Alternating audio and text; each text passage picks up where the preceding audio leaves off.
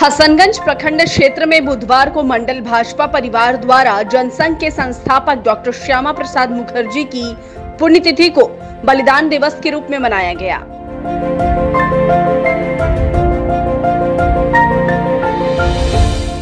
हसनगंज प्रखंड के रामपुर पंचायत के बूथ संख्या 31, 32, 33, 36 और 37 पर कार्यक्रम का आयोजन करते हुए भारतीय जनता पार्टी जिला महामंत्री प्रशांत झा सहित कई अन्य पार्टी कार्यकर्ताओं ने माल्यार्पण करते हुए जनसंघ के संस्थापक और प्रेरणा स्रोत डॉक्टर श्यामा प्रसाद मुखर्जी को नमन किया।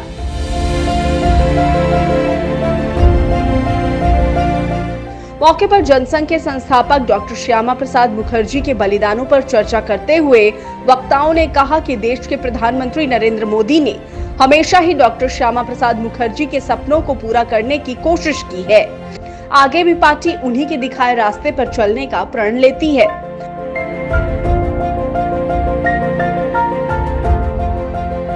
आज भारतीय जनता पार्टी प्रदेश नेतृत्व द्वारा निर्देशित डॉक्टर श्यामा प्रसाद मुखर्जी के पुण्यतिथि को बलिदान दिवस के रूप में मनाने के तहत हम लोग हसनगंज प्रखंड के विभिन्न बूथों पर डॉक्टर श्यामा प्रसाद मुखर्जी के पुण्यतिथि को मना रहे हैं।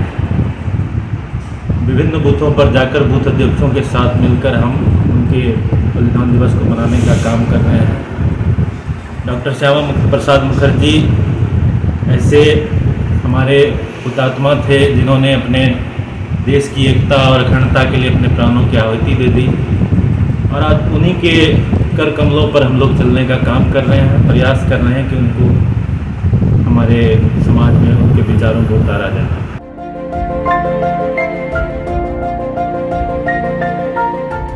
आपको बता दें कि पार्टी के निर्देशानुसार प्रदेश से जिला और प्रखंड स्तर तक 23 जून से लेकर 6 जुलाई तक लगातार सभी बूथों पर अलग अलग प्रकार के कार्यक्रम चलाए जाने के निर्देश दिए गए थे।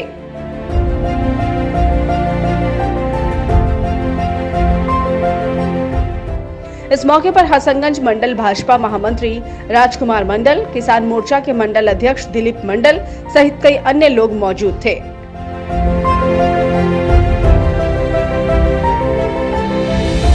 Mukesh Kumar, Times News, Hasanganj.